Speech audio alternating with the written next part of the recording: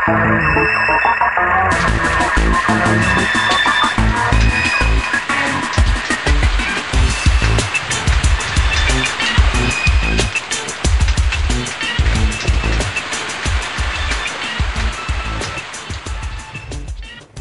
right, Pox here. It's uh, 1.30 in the morning on a Saturday night, and this is this is what we do for fun.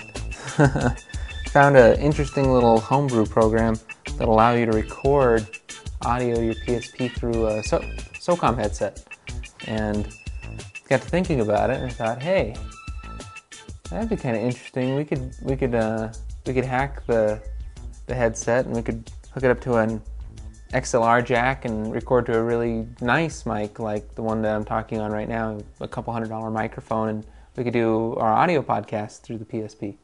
So that's the project today. and uh, you need a couple things before you get started. You're going to need the little Sony remote control thing that comes with your PSP. You don't have to worry about the headset part because we're going to be taking a video iPod cable, which is the other thing you're going to need.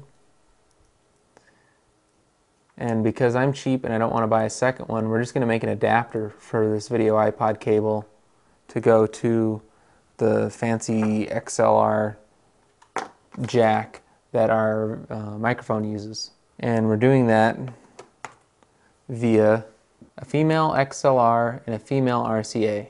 That's just going to go onto the yellow iPod connector, and then the iPod connector is going to go into the Sony remote. And the soldering we're going to be doing here is going to solder this to this, and then our microphone will go right into here.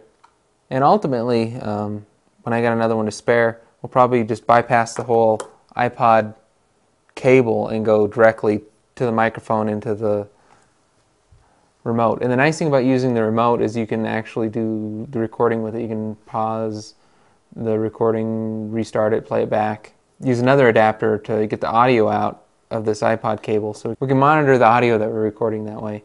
Um, we'll have a more advanced hack later on how to actually hook this all up with a headset and make it a smaller, littler cable. Alright, right now Pox is desoldering the end of the cable. Also, um, the mic that we have is a powered mic, so you have to have a battery in it when you're running it. The batteries last like hundreds of hours, so it's not a huge concern. In our test, the system worked with normal unpowered microphones as well, but your mileage may vary. There's a few pieces that we need to feed on here first to reassemble this and make it look seamless. And the nice thing about this whole process is we don't even need any shrink wrap. Alright, so we got to trim these up a little here because we were. If the cables are too long, they'll hit each other and create a short circuit. And we could either you could either do this or you could just wrap electrical tape around them or shrink wrap them, but uh, we're lazy, so. All right, so what we're doing right now is we cut back the ends and we are tinning the wire tips.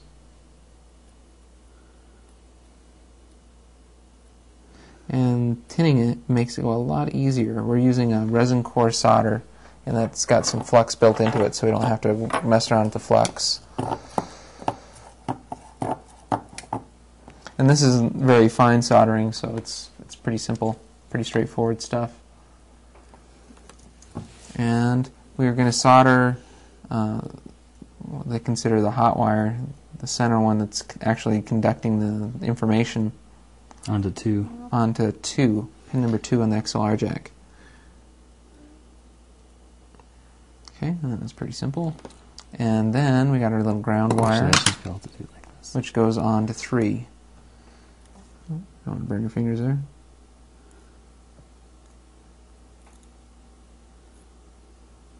Ta-da! That was slick. That you want to make sure that none of these wires are touching any of the exposed wire from the ground to the the pin two there. All right, so after you got everything soldered, just got to thread on the old components that we took off. Line everything up. and push it through.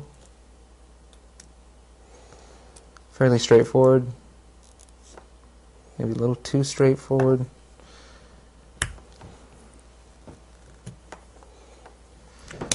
And voila. No shrink wrap or anything. And it looks like we just went downtown and bought this little cable. now we have a little RCA to XLR converter, which will plug into our iPod cable. And our iPod cable plugs into the PSP remote. PSP remote plugs in to the PSP. XLR goes into the mic. And on the PSP, we'll go ahead and launch our little homebrew application here, the virtual tape recorder. Now, one of the cool things about this virtual tape recorder is, hopefully he'll, he'll update it more by the time you guys see this, but he's got controls on the actual PSP remote. So if we want to record, you can just hit um, plus and then press play, and it'll start recording. And you'll probably hear this in an audio podcast before the video podcast, but this is one of the first tests right now to see if the uh, connection that we soldered together works. And stop it, you can just go ahead and hit uh, pause.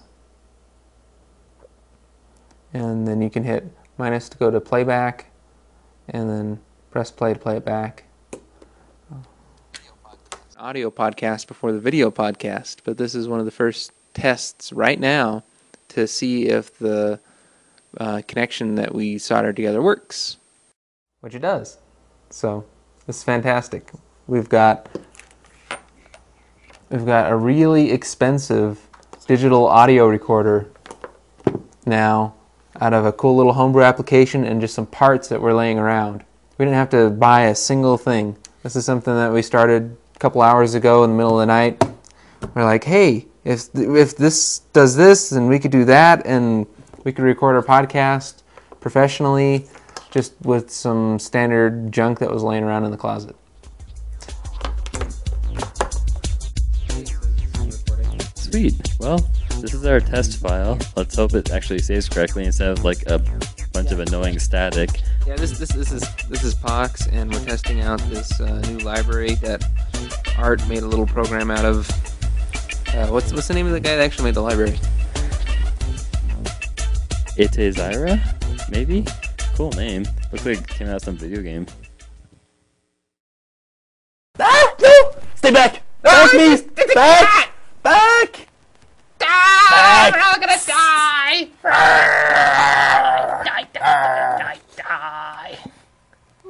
Ah, this sucks so bad.